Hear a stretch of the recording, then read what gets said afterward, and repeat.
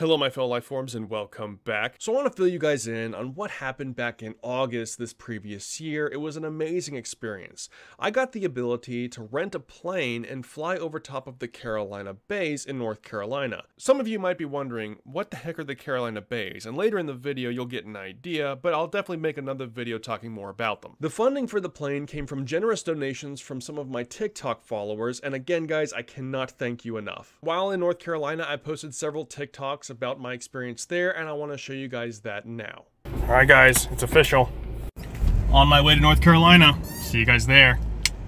All right, guys, I've got an update for you. So, for those of you who don't know, I'm in North Carolina here to view the Carolina Bays, and you might be asking, what are the Carolina Bays? The Carolina Bays are these giant elliptical depressions scattering the east coast of the United States from New York all the way down to Florida.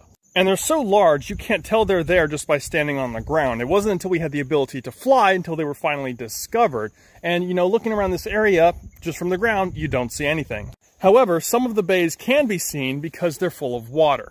Right now I'm standing on the edge of Jones Lake, which is itself a Carolina Bay. And it's probably hard for you guys to tell, but this lake is quite large. And there's been many different hypotheses as to how these depressions were formed. The one that I think is more likely is that at some point during the Ice Age, there was a massive impact into the Laurentide ice sheets sitting on top of Michigan at the time, ejecting trillions of tons of ice into the atmosphere from the size of cars to houses to baseball stadiums. All of that debris eventually falls back down to the planet, pelting the ground so violently, the scars can still be seen today. And tomorrow's going to be the big day where we go up into the plane and actually get a bird's eye view of all the bays so we can really get an idea of the scale. And I appreciate all you guys for giving me the chance to do this, and I'll see you guys later. Bye. There's a Carolina Bay right over there. You would never know. You gotta be in the sky. That's where we're going next. Guess what?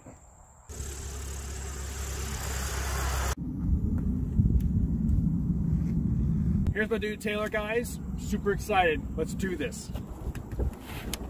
Thanks, guys.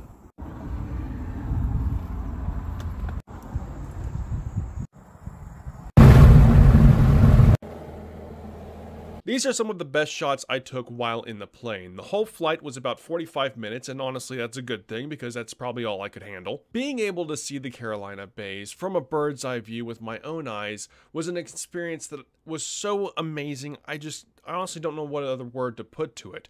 I had done a decent amount of study into the Carolina Bays before going up into the sky to see them and seen so many pictures and zoom into them on Google Earth and just, you know, they've always been a fascinating thing for me and being able to see them was truly remarkable. And if I were going to recommend two YouTube channels for you to take a look at on the Carolina Bays, I can only recommend Antonio Zamora and Dabbler's Den. Randall Carlson has also mentioned them several times within his videos. I'm going to let this video play out in silence and make another video talking more about the Carolina Bays. I appreciate you guys for watching this video and I'll see you guys later. Bye.